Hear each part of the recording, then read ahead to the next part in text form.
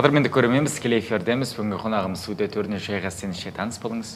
Біздің студияда қонақта ордабасы аудандық орталық ауруханасының басшы орынбасары абдраимова жанар. Қош келдіңіз көңіл күйіңіз қалай қалай келдіңіз? Рахмет. Тамаша. Мынау ең бірінші аурухананы толық таныстырып өтсеңіз. Біздің ордабасы аудандық орталық ауруханамызды таныстырып өтетін болсақ бірінші кезекте ордабасы аудандық орталық ауруханамызға елу бір медициналық ұйым сол мекемелерге жұмыс атқарады. Оның біріншісі ордабасы аудандық орталық ауруханамыздың өзі. Оған қарасты емхана бөлімі бар орталықтанған. Бес бастапқы медициналық санитарлық бекет қазіргі таңда. Сонымен қатар алты дәрігерлік амбулатория жұмыс атқарады. 25 фельдшерлік акушерлік бекет қызмет атқарады. 13 медициналық пункт. Сонымен қатар төртінші санаттағы жедел жәрдем. Бригадасы орталық аурухана бойынша құрылымы осы мекемелер қызмет көрсетеді. Қызмет көрсетіп ә, қанша өздеріңіздің ауруханаларыңызда қазір қанша адам қызмет атқарып жатыр? Қазіргі таңда ордабасы аудандық орталық ауруханасына қарасты халық саны біздің 89 мың бір жүз жетпіс халық тұрғындарға иә. қызмет атқаруда. Жалпы осы ордабасы ауданының халық біріккен халық тіркелімі бойынша 89 мың бір жүз жетпіс халыққа қызмет көрсетуде. Тамаша түсінікті. Ал қазір мынау жаңа технологиялар деп жатырмыз ғой операциялар жөнінде толыққанды айтып берсеңіз біздің қазіргі таңда ордабасы аудандық орталық ауруханасына тоқталып кететін болсақ бұл жерде 285-тік төсек орындық тәуліктік стационарға қызмет атқарады. Оның 10 төсектік тәуліктік стационарлық көмек төрткүл елді мекені бойынша 10 төсек орын тұрғындарға төсек орынмен жабдықталған ауруханамыз бар ауылдық орталық аурухананың тоқталатын болсақ қазіргі таңда жаңадан ең ашылған мынау триаж бағдарламасы іске асырылған қабылдау бөлімінде іріктеу яғни дер кезінде келген науқасқа шұғыл түрде келген науқасты дер уақытысында мобильді бригада оперативті түрде науқасқа сараптама жасап дер кезінде шұғыл көмек көрсетіп бөлімшеге жайғастыру. Ем домын дер кезінде ұйымдастыру. Екінші мынау тоқтала кететін 2000 осы 23 жылдың ақпан айынан бастап бізде 10 иә. төсектік неврология бөлімінің ішінен 10 төсектік инсульт қондырғы дейді ғой құрал жабдықтар аппараттар жаңа үлгідегі мына инсульттан кейінгі науқастарға оңалту ем бөлімшесі ашылған. Науқастарға өте тиімді жаңа қондырғылармен оңалту бөлімі. Сонымен қатар перзентхана бөлімі. Жұмыс атқаруда. Нәрестелерді шала туылған нәрестелерге екі төсек орын осы туылған нәрестелерге дер кезінде көмек көрсету өзіміздің аудандық деңгейде екі нәрестелерге.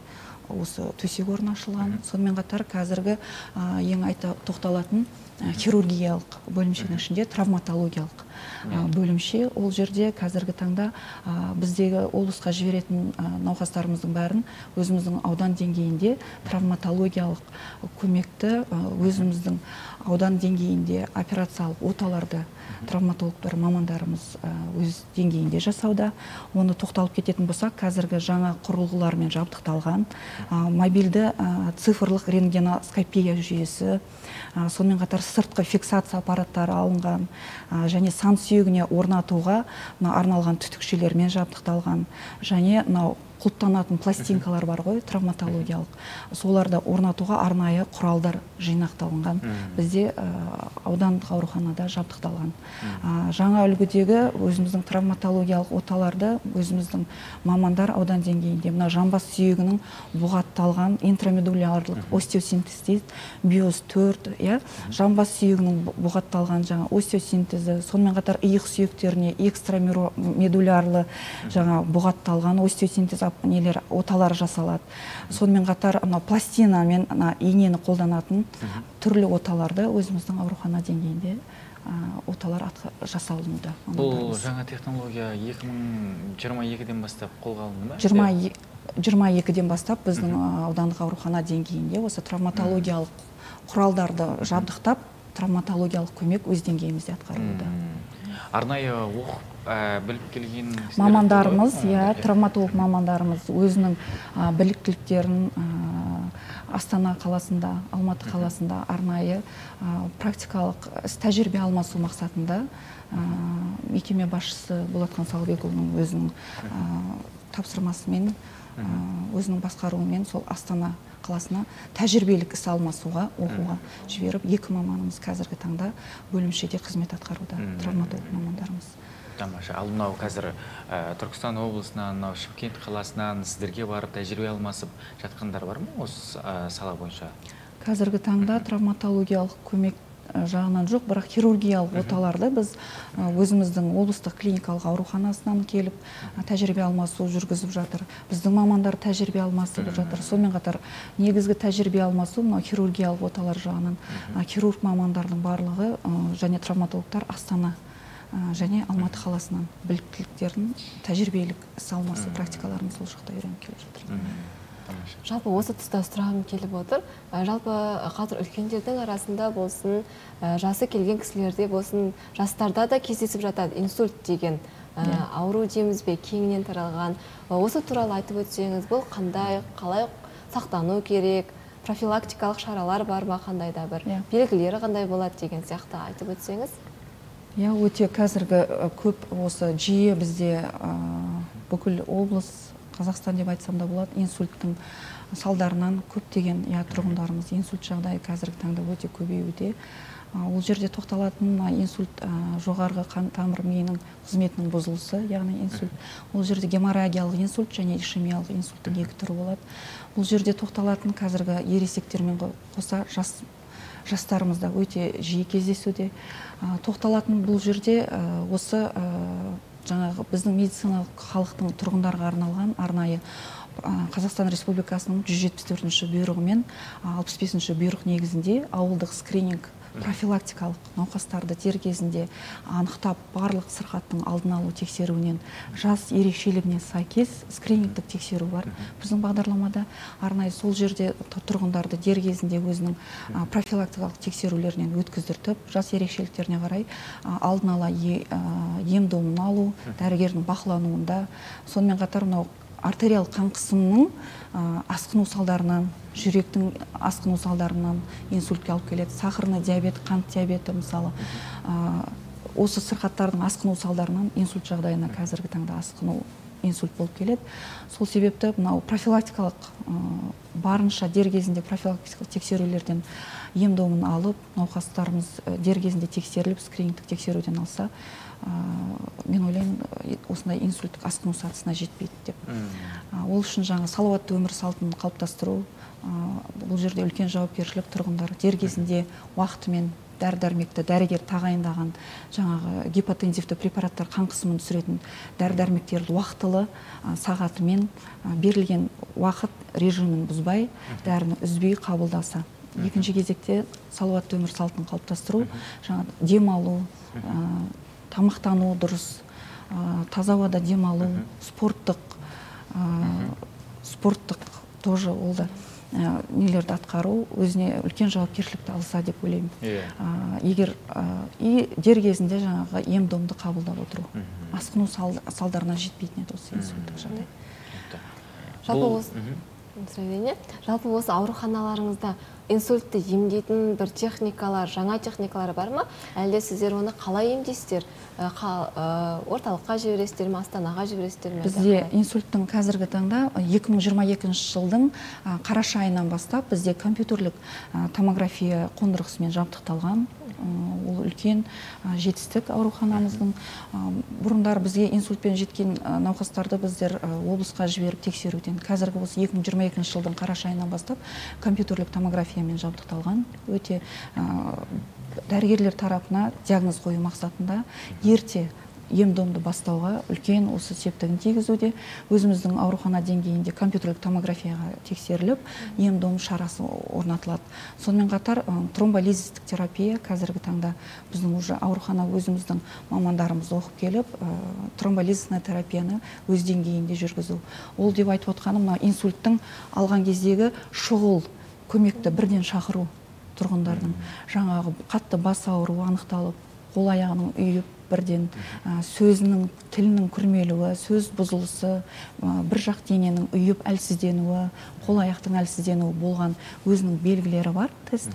Сол арқылы ә, тұрғындар дер кезде мына жүз үшінші сымтетік арқылы жедел жәрдем бригадасын тез арада төрт сағаттың ішінде ә, жаңа ауруханаға жеткізетін болса терапевтикалық ошақ деп айтады сол жерде ем домның тиімді и бірден бастау.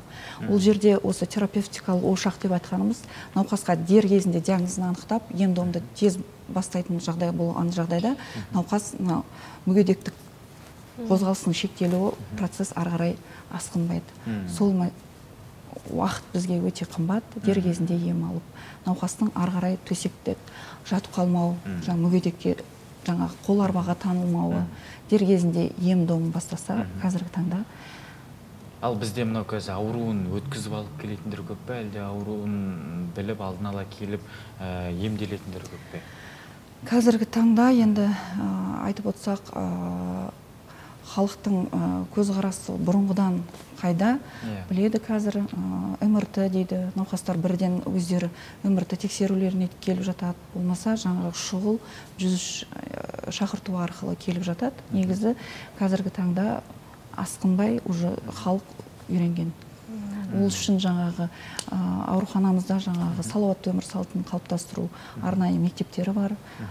Школа инсульта деп айтады қан қысымының артериялық қан қысымының мектептері осы мектептермен таныстырып тұрғындарға алдын алу осы тесттерді үйретіп келген кезде профилактикалық тексерулерден дер кезінде анықтап ем домын үзбей бақылану.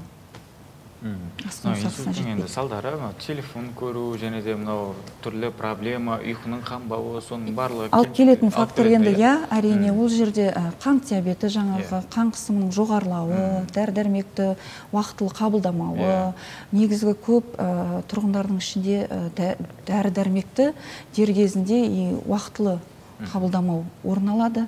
Ол науқастар тарапынан да түсіндіріліп жатады. Жаңағы давлениеміз көтерілгенде ғана қабылдап қояды да үзіліп қалады дәрісі бас ауруы қойып қан қысымы қалыпты жағдайға түскен жағдайда науқастардың ем домы тоқтатылып осы тоқтатылған салдарынан да стресстік жағдай қант диабеті әртүрлі осындай факторлар алып келеді. Асқыну салдарына инсульт бойынша. тамаша. Сіз жаңа сұхбат барысында бір керемет нәрсе айтып қалдыңыз ғой. Ә, лайфхак сияқты иә ә, сағат он мен он екінің арасында ұйықтап алсаң ұйқың күні бойы қанық болып жүреді одан кейін күні бойы жүре берсең де болады деген сияқты иә, иә. қазіргі таңда иә ол өзім енді как невропатолог маман ретінде айтып иә. өтейін. Мына мидың қызмет атқару саласы